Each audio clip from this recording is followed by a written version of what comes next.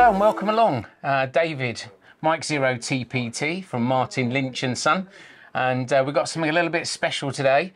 Um, I want to introduce you to Mike. Pleased to meet you. I'm Mike Gathergood, call sign G4KFK. I'm the sales manager for Bird for the EMEA region. That's Europe, Middle East and Africa. Bird, of course, these meters. Lovely job. So it's really exciting.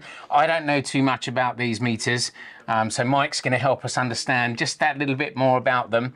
And also we're going to talk a little bit about the history and just how these came about and um, just how long they've been around because they've been around for so- quite some time, Mike, haven't they? That's correct. So Bird was founded in 1942, um, still family owned, uh, private company. These products, the Model 43 RF watt meter was launched in 1952, so it's actually been on the market a little bit over 70 years. Wow. And other than the CE label and the plastic handle, which replaced the leather handle, basically they're still the same after 70 odd years. Amazing. Absolutely amazing. And did you, when was the company formed? 19? 1942. 1942. Wow. Yeah. In real terms, I'm quite new to the hobby. Um, so when I first saw these, and I only saw them at rallies, you see, but when I first saw them, I, I had no idea what they were. And then over time, I've realised um, just how popular these types of uh, power meters are. What models do we have here today, then, Mike? So let's give you an overview of the basic Model 43 watt meter. Uh, it comprises a um, line section which is terminated each end with a socket. Can be any type of socket you want, but the default is N type. Um, a meter and a plug-in element. And I'll remove the element to show you. They're like that. This particular one is the 250H. So it's 250 watts um, full scale deflection for the HF band, 2 to 30 megahertz. Right, okay. Uh, we do other elements up to several kilowatts and up to a maximum frequency of 1.3 gigahertz. So um, you'll see it's got a nice helpful arrow on it. It shows the direction of travel. So assuming that the load, the antenna, is on this socket and the source or the transmitter is on this socket, you'll see the arrow is showing forward power and if I rotate it, it's showing reflected power. Or of Alright. course you could connect the source to that side and the load to this side. In which Depending case on that'll how be you've forward. got it set up in your shack. Indeed, and Yeah. that will then be reflected. It really is that simple. The connectors themselves, um, I've removed the screws from this one to show you. They're easily swapped. This particular one is an N female, but we have others. For example, this one here is fitted with UHF uh, SO239 style connectors. So there are various other types, but it's a two minute job to just remove the screws, swap the connector for the one you want, put the screws back on. So in theory, if you needed to, on the fly, you could swap connectors out Indeed. pretty quickly, depending on how you've got that set up in the shack. Yeah, so there's no real reason to have adapters. You can Yes. have whatever type of connector you like with it. Perfect. Okay, So, So that's which the- one was that again? that's the basic Model 43. Model 43. As I said, we've got elements covering, in fact, down to 450 kilohertz. The P range elements do 450 to 2.5 megs. This is the H range, 2 megahertz to 30 megahertz. And then we've got various other ranges up to 1.3 gigahertz. Um, and this one, this is another Model 43, but this one's been fitted with the optional peak envelope power um, measurement for single sideband. Well, we'll demonstrate that in a bit. What I was really interested, I'm interested in this one on the end Okay. because it's a little bit different to. This one's, as you say, is a little bit different. This is not the Model 43, this is the 4304A. Again, QC connectors. This particular one's fitted with UHF SO239 style connectors, but takes these as well.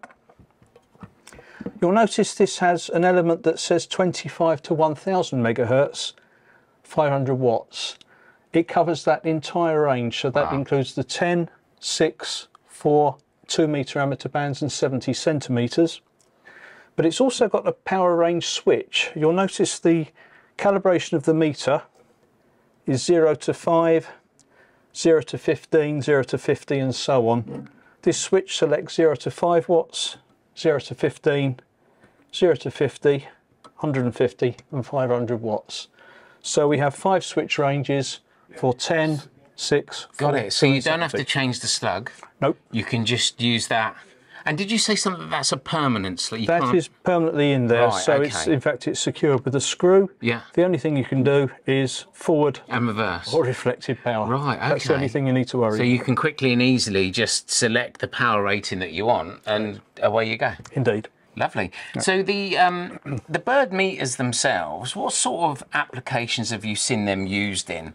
Uh, I know, obviously, we're really interested in for amateur radio. Hmm. Um, do you use these in any any commercial commercial installations? Not so much these days. Bird manufactures um, RF power sensors for commercial applications, and one it. Of the biggest now is semiconductor manufacturing, measurements of the RF power which excites the plasma that's used for semiconductor manufacturing. But they're looking for tighter tolerances at fixed frequencies, typically 13.56, 27, 40, Yeah. 60 megahertz. So we do much tighter tolerance measurements, but on fixed frequencies for those kind of applications. These, um, this is the portable version. There's also a rack mount version, and there are versions Oh, okay. with larger um, line sections, Uh-huh. up to six and one eighth inch for broadcast. So it's, this has a big brother, if you like, um, for broadcast television, FM radio. Mm-hmm. Oh, wow. Up, to sort of 50 and 100 kilowatt type um, power levels. It's a little bit more Larger, at but the, the same moment. Yeah. um, but they're, they're, I, I was quite surprised by the weight of them as well. They're they're quite heavy, aren't Oh, yes. they? And and you, you can imagine. I can imagine that in my shack actually. But I think with the ability to be able to change the connectors, I especially like this one, having the the variable power. Mm-hmm. Um, but then I suppose you could get a one kilowatt slug in here, um, and you can just. Indeed, that- that's yes. just going to cover everything So that for, you need. for HF, these connectors and the line section is good up to 5 kilowatts, and we do a 5000 H Oh, right, element okay. for a 5 kilowatts, 2 to 30 megs. Okay, so um, should we have a closer look and demo one of the units? I know you were very busy wiring this one in. Um, Certainly. so let's take a look at the 43P with the uh, peak reading option. So we have here HF radio currently on 40 meters lower sideband, uh, and I wanted to draw your attention to the peak envelope power uh, option. So right now the switch is out, the light is off. So that's that's the default. um, Okay. That's how it would perform power. normally, yeah. That's how it would perform if the board wasn't fitted. So it's just reading the average power. And um, if you want to give a shout, and we've got the- this plugged in. What have we got this plugged into? We've got a dummy this- load. It's plugged into a We've 50 ohm load. It's Brilliant. out of sight, but it is definitely there. So okay, so if you speak into the microphone, one, two, one, two, one, two. Now, obviously, we know that's a much higher power radio than we were seeing there. But what you were seeing was the average power, so it's trying to average speech, speech peaks. Yeah. That's the purpose of the peak envelope power board. So if I now switch that on, and you do the same again, One, two, one, two, one, two. you'll notice there we were peaking about 60 watts peak envelope power And that's on that pretty cool. which is probably what the radio's set to, I guess. Yeah, yeah. Is there a model that you'd have to buy one of these with that in there? Is it a specific model? No, there's an option there. So you can either buy the Model 43P, in which case the peak envelope power board comes ready fitted, or you can buy it as a retrofit kit, and I'll show you that. Let's remove the connectors. Right, I've already removed the four screws from the back panel on this one. Um, one, two, three and four, and the panel comes off. And if you can zoom in here. Normally, these two wires, the red and the black, would be terminated on the back of the meter movement. When you buy the retrofit kit, you remove the two screws from the back of the meter. The retrofit kit actually sits on the back of the meter and is secured by two nuts. The, um, the side pokes through to here. There's already a hole there. Ah, If you refer to that one there, you'll see the hole's already there. We can store spare elements in there. But on this one, it's sitting in the spare element slot on this side, secured by the two screws, another screw here, and that's it. Um, it even comes with two batteries. The kit includes the batteries. So, So it's that easy to fit. If you wanted to retrofit your Literally, 43, yeah. you can just. all you need is a 9mm socket and a Phillips screwdriver. Old school. Phillips screwdriver for the four screws and for the connectors there, and the 9mm socket for the back of the meter. Oh, fantastic. 10 15 minute job and you're done. Wow. So you can either buy it ready made as a 43p or you can buy the retrofit. And you can modify it later if you wanted to. Indeed. I have a question. And Oh, yeah. I, I noticed that uh, the bird meters that we stock come with these, and you, you told me something interesting. So I'll, I'll let you spill the beans on that one. Right, so the purpose of this is twofold. Obviously, firstly, to, to keep dust out of the line section. If I remove the elements, you can actually see straight through to the line section. So firstly, it's to prevent contamination of that line section. Also stops you putting your fingers in when Yes, it's light, yes.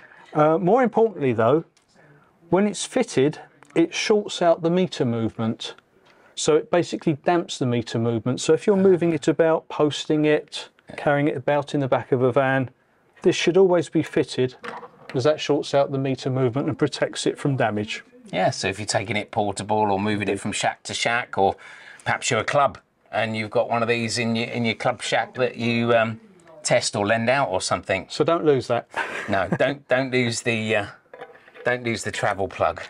And just one last thing before we go. I've always felt like a power meter is the staple diet of a, a ham radio operator, and um, having that positioned in the shack. Um, over the years, obviously, Bird's got such a fantastic reputation. Um, that, that that's the predominant use for um, the bird meters is forward and reverse power, isn't it, Mike? But that's correct. So these will obviously give you the forward power and the reflected power over their respective frequency ranges and power ranges. But we have come a long way since 1952 when these products were introduced. Uh, for as example, I'll show you the. This is our SiteHawk, which is a handheld antenna and cable analyzer. It's based on Android, so that's how modern it is. As you can see, it's got a colour touch screen, and this will give me a visual display of VSWR versus frequency. Uh, we have frequency on the horizontal, VSWR on the vertical, and being Android based, I can flip it around like that. there we go.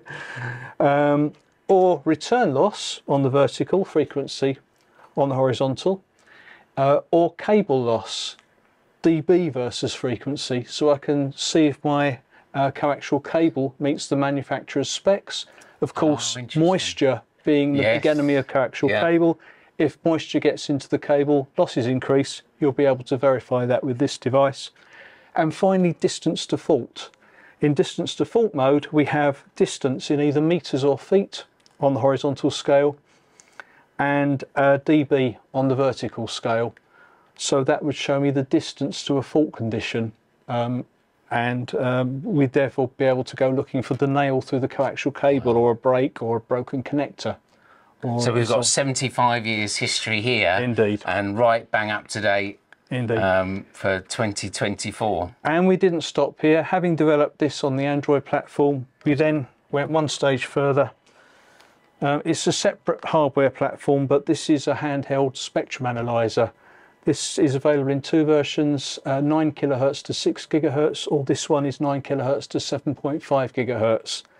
And this has a whole range of built-in tests, including angle of arrival direction finding. Oh, right. So there's okay. a mapping feature built Oh, in. wow. It uses openstreetmaps.org, and we can take plots on the map from various different points Oh, very and see where the vectors cross, and that's the source of our interference. So there we go. As you say, uh, 70 odd years of history Yeah. on the tabletop. And, uh, right up to date with the uh, the new technology. Well, Hmm. what can I say? I've certainly learnt a lot today uh, about bird. Thank you ever so much for coming in and, and sharing your knowledge and expertise um, with the bird meters and um, especially the PEP. That that that I, li- I like the sound of that. Hmm. Um, so there we have it. Bird meters, and um, we we do have these in stock. So if you are interested, give us a shout. If you like the video, give us a thumbs up. And um, if you want to see some of our future videos, then why not subscribe? But for now, um, that's Mike Zero Tango Papa Tango. David from Martin Lynch and Son, uh, wishing you best 73.